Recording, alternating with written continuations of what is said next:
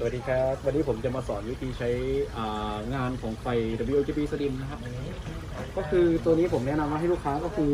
ต่ออะไรให้มันเสร็จเรียบร้อยหมดเลยนะครับ จากนั้นก็มา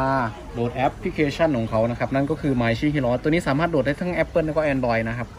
โหลดเสร็จเข้ามาปุ๊บกดเข้าไป ท่านใดที่ยังไม่เคยมีอาจจะต้องสมัครสมาชิกก่อนนั่นก็คือเป็นพวกอีเมลนะครับ พอกดเข้ามาเสร็จปุ๊บมันก็จะมีปุ่มบวกตัวนี้นะครับ ก็กดเข้าไปบวกนะฮะ มันก็จะขึ้นมาเป็นอย่างเงี้ยมันเหมือนตัวเนี้ยครับ WRGB 2 Slim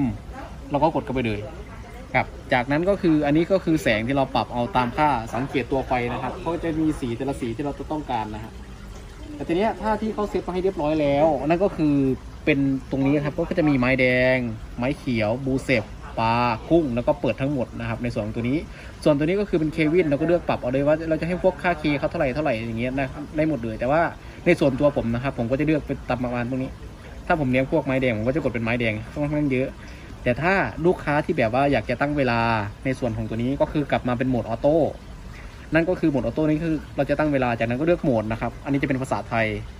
เลือกเวลาปิดเปิด แต่เนี้ยของผมผมจะตั้งที่ประมาณอะบ่ายสองนะครับ จากนั้นก็ต่อไป จากนั้นก็คืออันนี้เป็นช่วงวัน วันหนึ่งเราจะเปิดกี่ชั่วโมงกี่ชั่วโมง แต่ว่าส่วนมากที่เป็นไม้น้ำนะครับผมแนะนำว่าแค่ 8 ชั่วโมงต่อวันนะครับ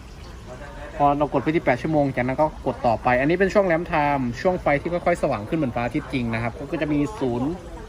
0.5 1 ชั่วโมง ชั่วโมงครึ่ง มันอยู่ที่เราจะเลือกเลย แต่ในส่วนตัวผม ผมจะเลือกแค่ 1 ชั่วโมง จากนั้นก็ต่อไป ในส่วนพวกนี้เราเลือกสีได้ ว่าเราจะให้สีของตัวนี้ประมาณกี่เปอร์เซ็นต์กี่เปอร์เซ็นต์นะครับ แต่ในส่วนตัวผมผมว่าเราเลือกตามที่เขาตั้งมาให้เรียบร้อยอะค่อนข้างที่จะโอเคกว่าเนี่ยไม้แดงปุ๊บจากนั้นก็กดบันทึกครับ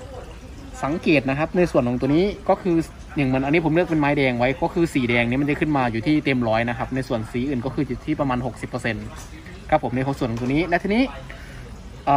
สมมุติ ลูกค้ากลับมาจากที่ทำงานแล้วไฟมันถึงเวลาปิดของมันอยู่ ลูกค้ากลับมาปรับแต่งนะครับ เลือกสีจากตัวนี้ได้ปกติ พอลูกค้าเล่นเสร็จปุ๊บกลับมาเป็นโหมดออโต้ปุ๊บมันจะเป็นเวลาปัจจุบันที่เราตั้งไว้เหมือนเมื่อกี้นะครับ อันนี้ก็คือวิธีการใช้งานของเขาค่อนข้างง่ายครับประมาณนี้เดียวครับ